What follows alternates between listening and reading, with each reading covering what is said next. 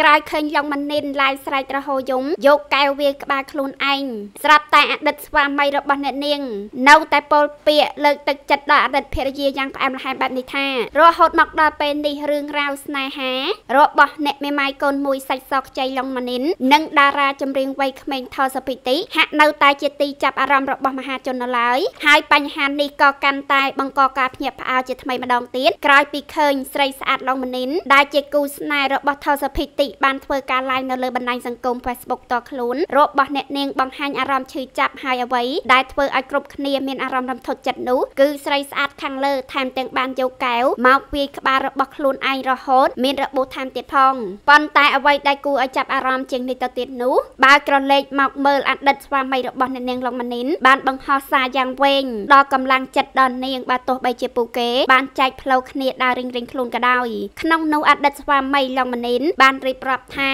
រឹងមាំឡើងមនុស្សល្អរបស់បង មួយរយៈកន្លងមកនេះបងសុំទោសដែលមិនបាន នៅក្បែរចាំលើកទឹកចិត្តអូន បានគ្រប់ពេលវេលា ប្រហែលជាបងគិតថាអូនអាចរឹងមាំដែលខ្លួនឯងបានហើយទៅបងនៅឆ្ងាយពីអូន តែបងមិនដែលភ្លេចភារកិច្ចបងទេ បងនៅតែឈរមើលអូនពីក្រោយចាំជួយលើកទឹកចិត្តអូនជានិច្ចមិនថាស្ថិតក្នុងការលៈទេសៈណាក៏ដោយមិនដែលហ៊ានភ្លេចនឹកដល់អូននិងកូនទេទោះបីនៅពេលនេះបងស្ថិតក្នុងឋានៈបែបណាក៏ដោយបងនៅចាំមើលថែអូនពីក្រោយជានិច្ចមិនឲ្យអ្នកណាធ្វើបាបអូនបានទៀតឡើយពេលខ្លះទោះសម្ដីបងនិយាយទៅមិនសូវពិរោះតែចិត្តបងមិនដូចសម្ដីនោះទេបងដឹងថាអូនជានារីម្នាក់ដែលពូកែតស៊ូទ្រាំការលំបាកគ្រប់បែបយ៉ាងតែម្នាក់ឯងកន្លងមកទោះមានឧបសគ្គអ្វីក៏អូនមិនដែលចោះចាញ់ដែរដូចនេះសូមអូនបន្តភាពរឹងមាំរបស់អូនឡើងវិញកុំចោះចាញ់កុំទន់ខ្សោយនៅមានមនុស្សល្អជាច្រើនដែលនៅជុំវិញអូនចាំជួយលើកទឹកចិត្តអូននិងផ្ដល់កម្លាំងចិត្តឲ្យអូនជានិច្ចស៊ូ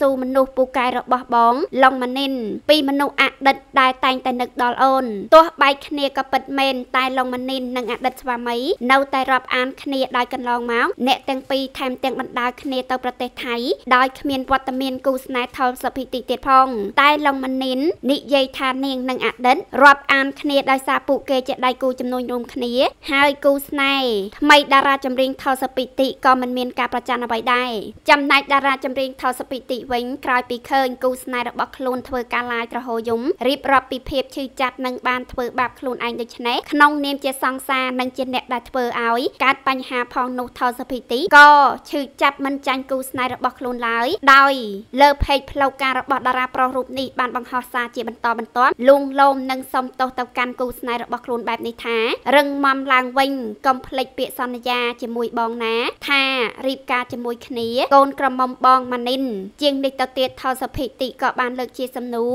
យ៉ាងហុសចិត្តនិងគិតមិនយល់បែបនេះថាបញ្ចប់ទៅឈប់បន្តផុសអ្វីដែលតាក់ទងជាមួយរឿងនឹងទៀតទៅខ្ញុំសុំចិត្តខ្ញុំសុំអង្វរខ្ញុំស្ងាត់មិនមែនមានន័យថាខ្ញុំមិនដឹងឮទេខ្ញុំគ្រាន់តែមិនចង់និយាយអ្វីបកស្រាយអ្វីច្រើនខ្លាចនាំតែរឿងកាន់តែវែងឆ្ងាយតែនេះអស់រយៈពេល4ថ្ងៃហើយរឿងមិនតន់ស្បើយមានតែទៅមុខក្នុងទ្រង់ខ្ញុំចង់ប្រេះហើយខ្ញុំសូមអង្វរអ្នកទាំងអស់គ្នា